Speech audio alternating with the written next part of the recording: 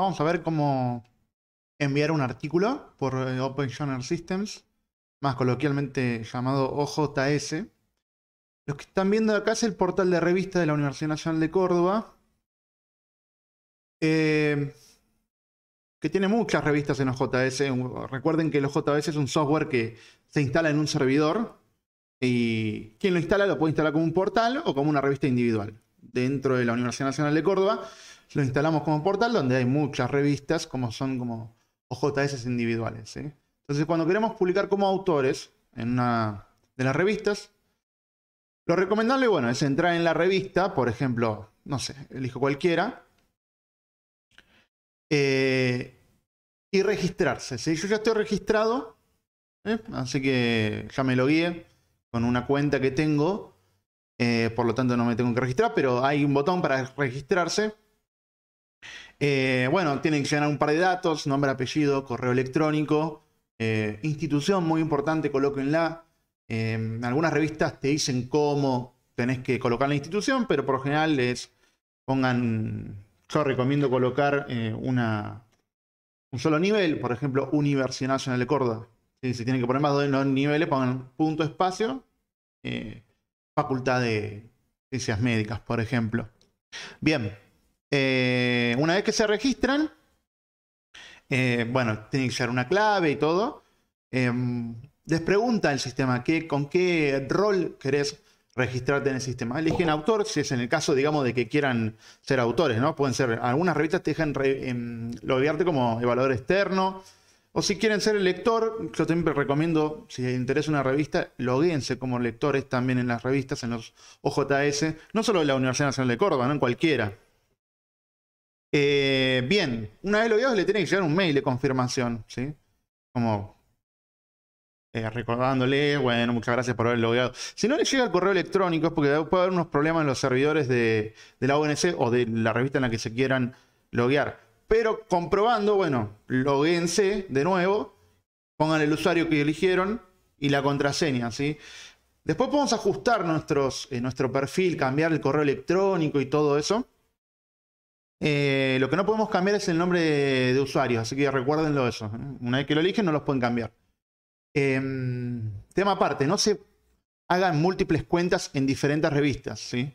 En, el, caso de los portales de revistas como el de la Universidad Nacional de Córdoba, ustedes tienen una sola cuenta, háganse una sola cuenta y después las diferentes revistas le van dando como roles, ¿sí? por, lo, que él tiene que tener un usuario único. ¿sí? Es lo recomendable.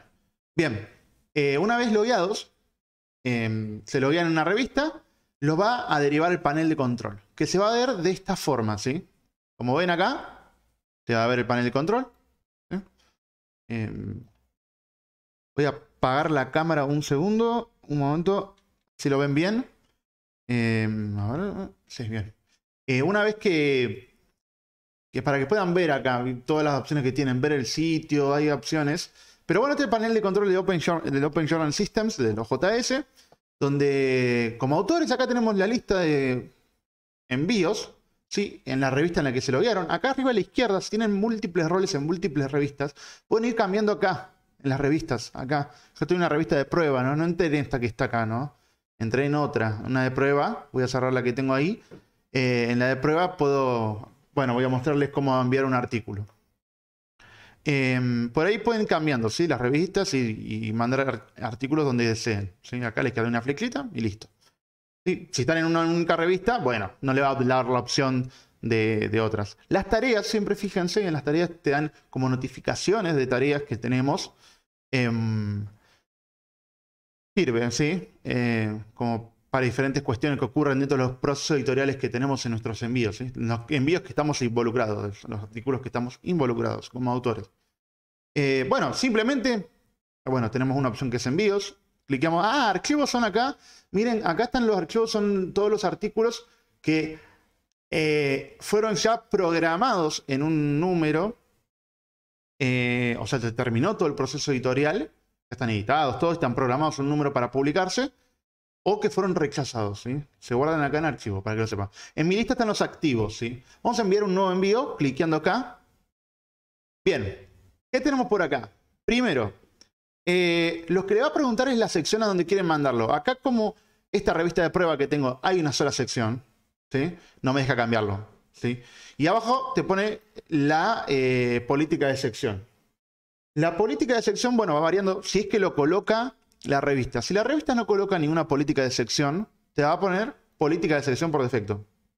Suelen tener las políticas de secciones, eh, las revistas. Igual tenemos que leer en el acerca de la revista, ver las políticas de sección, dónde enviar, tenemos que informarnos de estas cosas antes de ver las directrices de los envíos, son importantísimas. Léanlas siempre, las directrices de los envíos, antes de mandar un envío. Acto siguiente, nos manda acá una lista de comprobación de envío que son muy parecidas en, las revistas, pero bueno, puede haber algunas variaciones. Eh, bueno, esta es la típica por defecto que ocurre que, hay en las diferentes revistas. El envío no ha sido publicado previamente, o sea que es original, bien. Eh, el archivo que estamos enviando es un formato que se pueda modificar, un OpenOffice, un LibreOffice, tablas de Excel, lo que sea. Sí, pero tiene que poder modificarse, no le podemos mandar un PDF. Si tenemos que mandar, por lo general se manda todo lo que es eh, Word, tipo de, sus variantes, ¿no? Y para los datos primarios, sean tablas, encuestas, bueno, se puede usar otro tipo de, de cuestiones, ¿sí? Siempre que sea posible se proporcionan las, las URL en las referencias, ¿sí? al fondo, sí, en, nuestros artículos. Eh, tienen que estar bien en APA como indica la revista, ¿sí? Y obviamente la URL, las direcciones web tienen que estar. Bueno, el texto interlineado sencillo, 12 puntos de tamaño, etcétera, etcétera. El texto se adhiere a los requisitos estilísticos y bibliográficos resumidos en directrices del autor y me pone un link que seguramente me, me, dirige directamente a las cuestiones bibliográficas, cómo tenemos que citar diferentes cuestiones.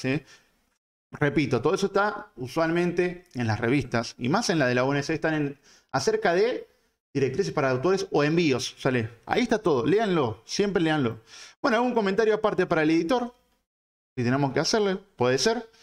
Acá hay una, un, tildado que tenemos que hacer obligatoriamente antes de seguir, que tiene que ver con respecto a las políticas de privacidad. ¿sí? Eh, es costumbre, la mayoría de los software que tenemos que enviar así cosas, hacemos una declaración de privacidad que mis datos se van a recopilar, pero no se van a difundir o, diferentes cuestiones de formalidad. Y si hubiera una política de derecho de autor, puede aparecer acá, ¿sí? Y quizá tenemos que poner también tildar. Cuestiones que pueden ir ocurriendo. Voy a poner guardar y continuar para pasar al siguiente dato, al siguiente paso.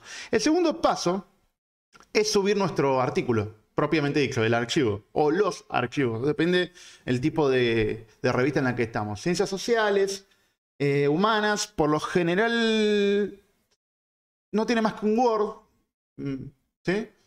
Eh, recuerden, importante, esto es importantísimo, y nunca se lo olviden. Si hay una evaluación por pares doble ciego, ¿sí? que no sabemos quién nos está evaluando, ni el evaluador sabe a quién está evaluando. En el Word no pongan el nombre y apellido, porque si no, eh, el evaluador puede llegar, se, le puede despitar al editor, va al evaluador y va a ver el nombre. Entonces, saquen eso. Acuérdense, importante.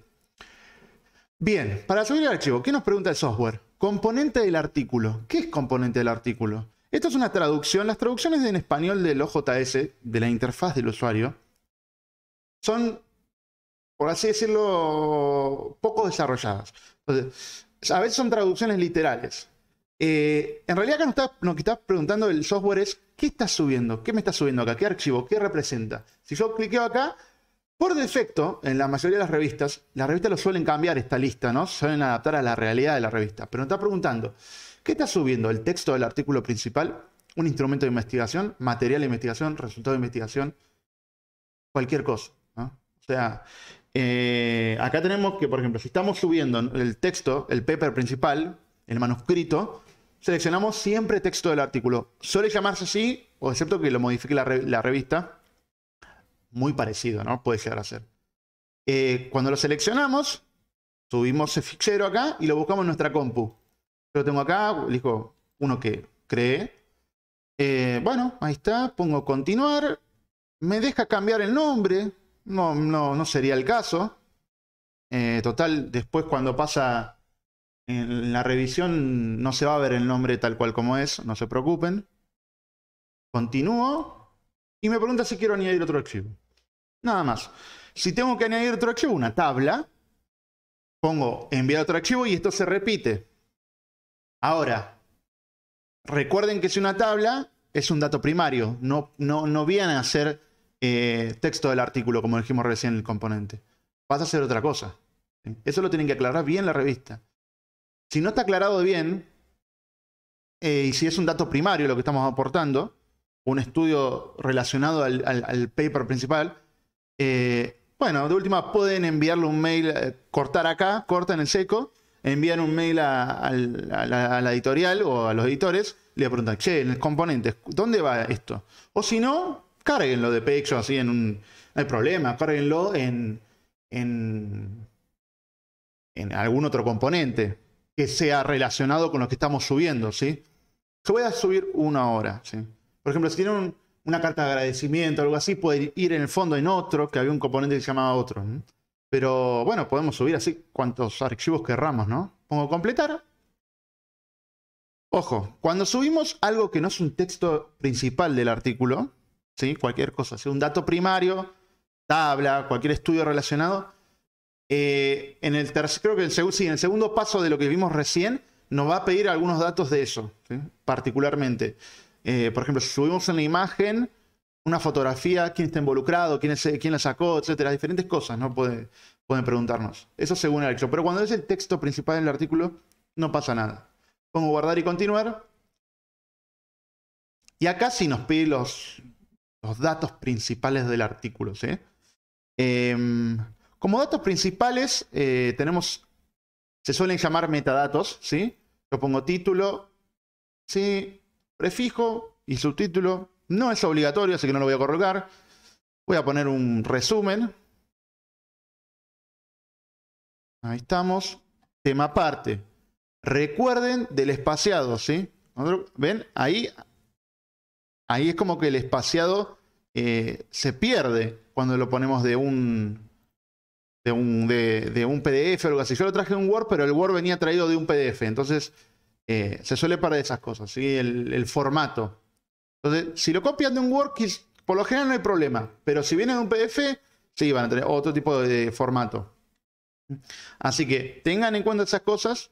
Que bueno, pueden pegarlo así nomás. De última los editores lo, modificarán, pero, pero bueno, para, para ser más prolijo. Eh, tema aparte. Si queremos subir en otro idioma, me lo tienen que habilitar. Yo no lo tengo habilitado en esta. No está habilitado en esta revista de prueba, por lo que no me aparece. Pero si yo cliqueo acá, me va a aparecer abajo en inglés. Entonces, si tenemos que llenar los metadatos en inglés, como que te aparece doble. Y si es en portugués, te puede aparecer triple. Entonces, eso tenganlo en cuenta. Llenen los metadatos en doble idioma, por favor, sí, porque si una revista está indexada, por tiene esas exigencias. ¿Qué más tenemos acá? Colaboradores. Si acá añadimos, obviamente aparecemos nosotros y podemos añadir a nuestros compañeros de trabajo, nombre, apellido, correo electrónico de la persona, país, eh, afiliación, como les dije. Bueno, resumen biográfico no parecería ser obligatorio, así que no se preocupen. Eh, algunas revistas le exigen eso, de última colóquenlo. Eh, autor o traductor, bueno, autor sería, si es contacto principal o no, en el caso lo pueden aclarar, pero si están subiendo ustedes, lo más probable es que ustedes sean los, contacto principal de la correspondencia para el proceso editorial, ¿no? Eh, y nada, ponen guardar y suben sus compañeros de trabajo. También el ORCID está ahí, colóquenlo. De última, creo que ahí me olvidé de mostrarles. Eh, acá, identificador ORCID. Eh, el identificador no va el, ID solo, si no me equivoco, va la URL completa del ORCID. ¿sí? Si está su perfil de ORCID acá, copian toda la dirección. Bien. Después, lo que puede hacer el, editor, algunos lo hacen en algunas revistas, es mandarle un mail para la confirmación del artículo dentro del ORCID, como que para que su ORCID se relacione con, el, con, el, con la revista. Eh, lo que van a hacer es entrar, apretar un botón y listo, es algo simple. Palabras clave. Bueno, la forma de llenar palabras clave es eh, bastante simple. Un momento.